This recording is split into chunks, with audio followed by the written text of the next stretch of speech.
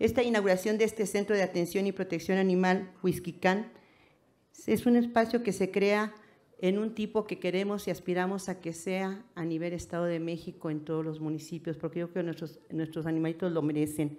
Que haya una atención veterinaria, que haya un albergue, que se provoca o se produce un entorno de cariño, de atención, pero también de, de, pretensión, de prevención perdón, a través de un programa de esterilización, de promoción a la adopción de perritos y gatitos, y que se sienten las bases de un Estado de México con mayor bienestar.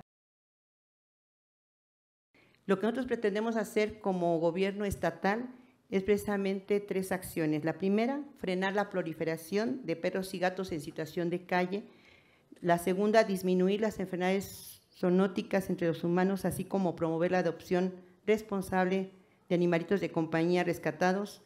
Y además esto se realizará a través de impulsar campañas de esterilización y vacunación